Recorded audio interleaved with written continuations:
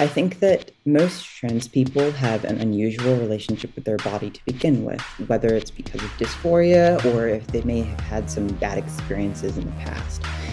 And I think that trans people also being ace has a lot of crossover simply because I've met a lot of people who are both.